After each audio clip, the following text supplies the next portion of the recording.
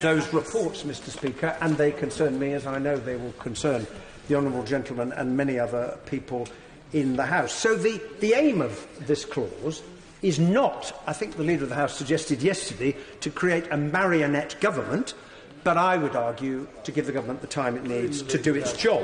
And I say that because it's not clear what is happening at the moment, as we discussed yesterday, how much negotiation is actually taking place when no proposals have been made. Now, and it's really very hard to understand that, since I would have thought the government was working flat out since July.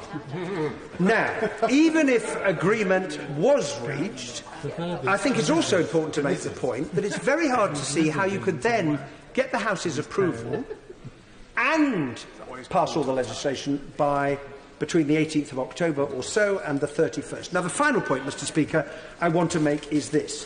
What would happen if we left with no deal?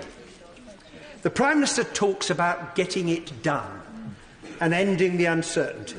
But the truth is, and the Honourable Member made the point so powerfully, no deal does not end anything. It would simply plunge us into greater uncertainty of all.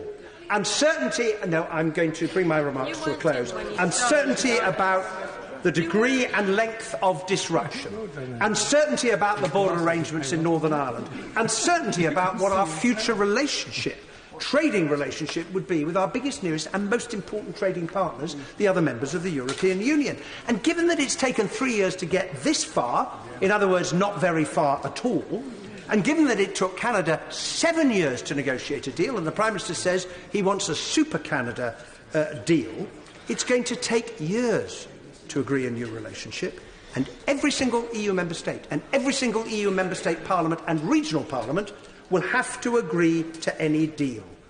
No deal will not be the end of Brexit, it will only be the end of the beginning.